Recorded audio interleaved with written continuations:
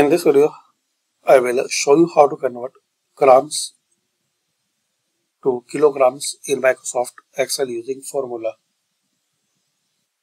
Here we have this example data. You want to convert your grams into kilogram.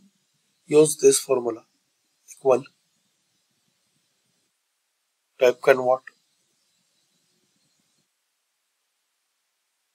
and select this uh, first cell for grams column.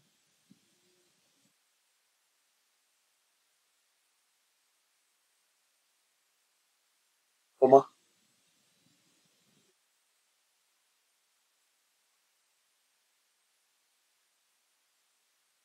And select this G for gram. If you not see here, so manually you can type inverted and G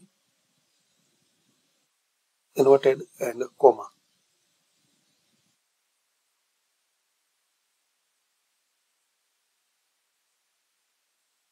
Now to convert into kilogram, type here kg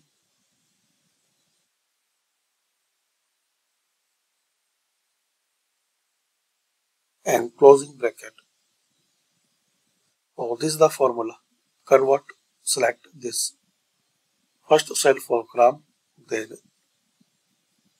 G, which you want to convert into kilogram. So type here kg with between the comma, opening and closing bracket, then press enter.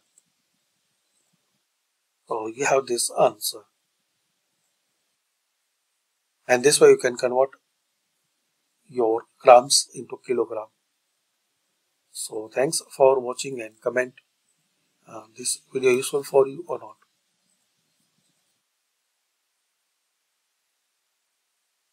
Just enter the number and you will see the result here